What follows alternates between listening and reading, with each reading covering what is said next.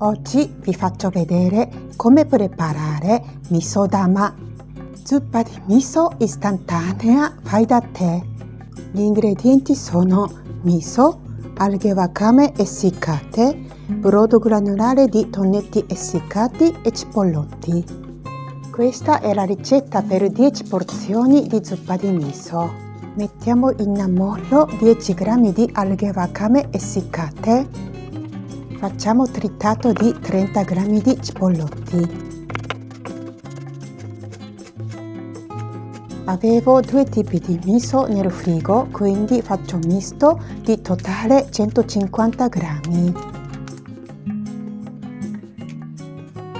Anche questo miso misuro 75 g, così faccio diventare il totale 150 mettiamo i cipollotti tritati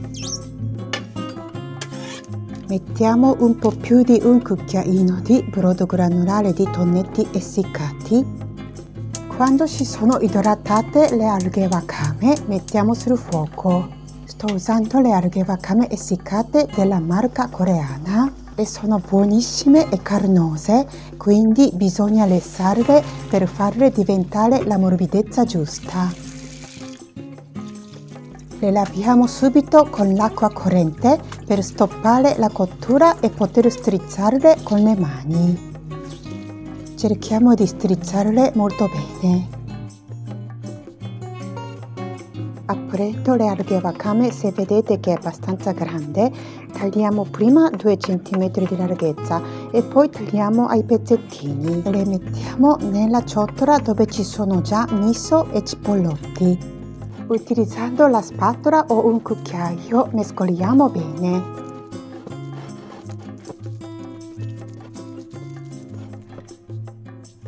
Mettiamo un piatto sulla bilancia e tagliamo.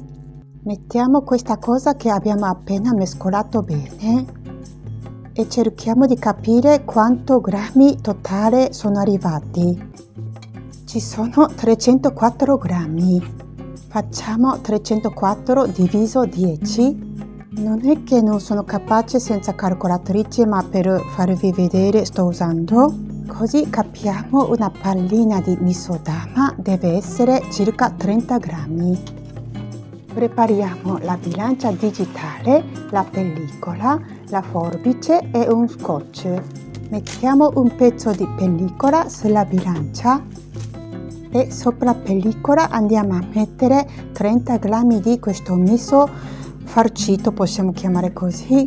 Chiudiamo la pellicola creando una pallina di miso.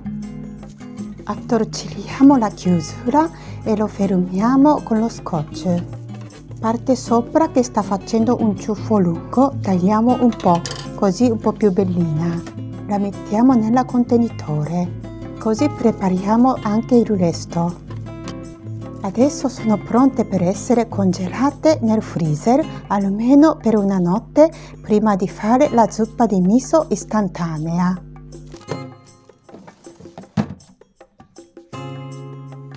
Sono passati un po' di giorni prima di poter fare la ripresa finale e nel frattempo ho consumato due miso dama per fare la zuppa di miso. Per questo che non ci sono 10 pezzi che dovevano esserci. Per fare una porzione della zuppa di miso mettiamo una miso dama nella tazza e mettiamo 160 ml d'acqua bollente prendendo bene la miso dama. La sciogliamo bene mescolandola con i bastoncini. Ecco la nostra zuppa di miso istantanea fai da te è pronta!